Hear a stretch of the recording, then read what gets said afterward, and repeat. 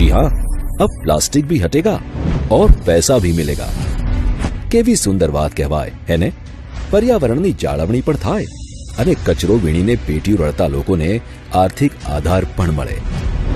આવા જ બહુહેતુક નિર્ણયો લેનારી ગુજરાત સરકારે કરી છે એક નવી જાહેરાત પર્યાવરણ જાળવણીથી સમૃદ્ધિ યોજના અંતર્ગત રાજ્યભરમાં મુકાશે રિવર્સ વેન્ડિંગ મશીન જે કરે છે પીઈટી એટલે કે પ્લાસ્ટિક બોટલ્સનું રિસાયકલિંગ હા પહેલા પ્લાસ્ટિકની બોટલ જેવો કચરો વીણતા લોકોને મળતા હતા માત્ર ત્રીસ પૈસા જેમને હવે મળશે એક રૂપિયો તો સામાન્ય લોકોને પણ રિવર્સ વેન્ડિંગ મશીન અપાશે પ્લાસ્ટિકની બોટલનું એક રૂપિયાનું વળતર છે ને પર્યાવરણની જાળવણી અને સમૃદ્ધિ માટેનું સોલિડ પ્લાનિંગ